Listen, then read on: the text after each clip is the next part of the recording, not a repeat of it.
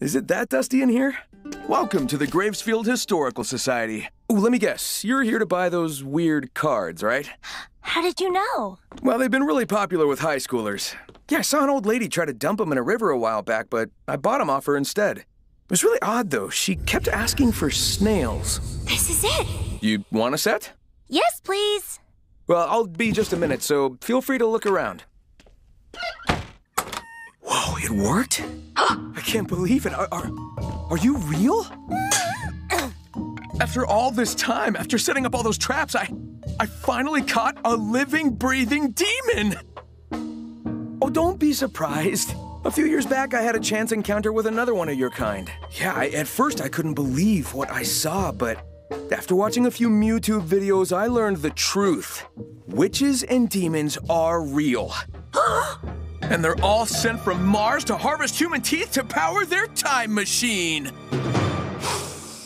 You don't actually know anything about us, do you? Oh, I know enough.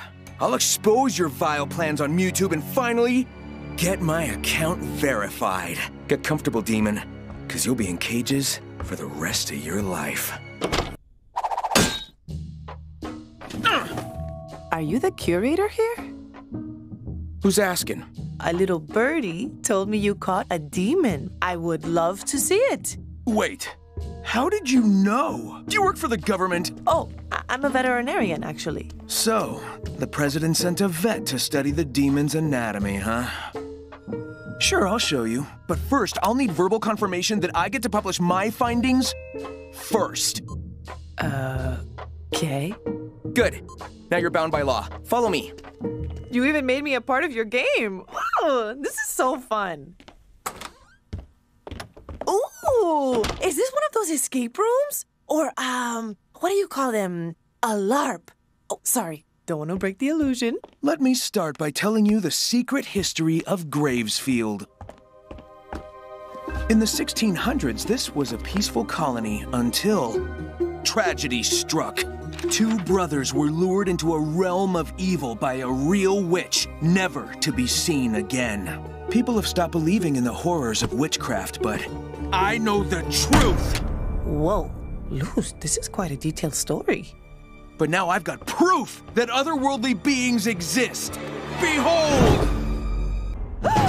no costume? This is a real live demon. Come here, watch this.